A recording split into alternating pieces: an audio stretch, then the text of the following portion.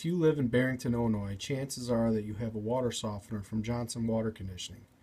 This is a short video explaining how to start a manual regeneration on your water softener. There are two ways to start a manual regeneration.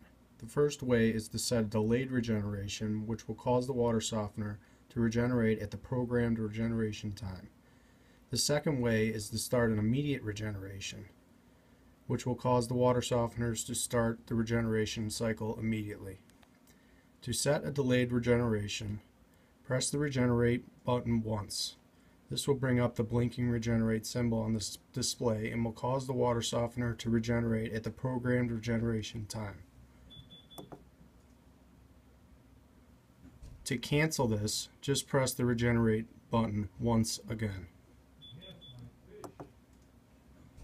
To start an immediate regeneration, hold the regenerate button for 5 seconds until the regenerate symbol appears solid in the display and you hear the timer motor start to turn the gears.